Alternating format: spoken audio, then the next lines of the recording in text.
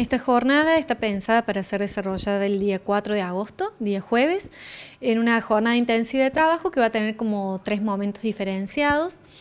Eh, desde las 8 y 30 de la mañana y otra parte, digamos, por la tarde.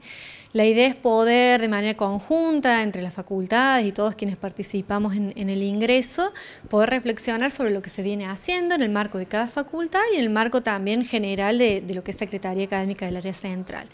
Como te decía, va a haber distintos momentos de trabajo. un primer momento por la mañana va a consistir en el desarrollo de un panel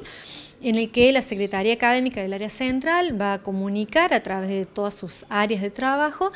todos los eh, proyectos que se vienen implementando y las acciones que se están desarrollando en relación al ingreso. Luego habrá un trabajo en mesas simultáneas donde eh, en torno a diferentes temáticas que atraviesan eh, las actividades de ingreso de cada facultad y por la tarde se va a trabajar específicamente sobre la construcción de materiales mediados,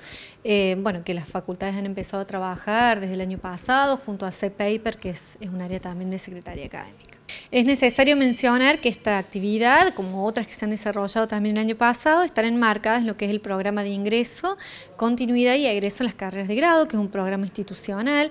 y que desde allí, digamos, se van trabajando distintos eh, lineamientos generales en torno a estas etapas de la, vida universitaria. Y en relación al ingreso, lo, central es, que entendemos institucionalmente el ingreso como todo el primer año, no solamente lo que se restringe a las actividades de febrero, que es por ahí lo que más conocemos, lo que más se ve, sino que atraviesa todo el primer año y por lo tanto todas las materias de, de primer año de las cinco facultades de alguna manera están involucradas en esta problemática. Se entiende, digamos, que el ingreso incluye las actividades eh, de,